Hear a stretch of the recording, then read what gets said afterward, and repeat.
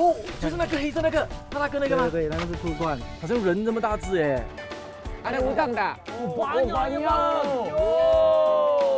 生态旅游就是除了让你去观察动植物的生态，其实也让你了解如何去保护它们。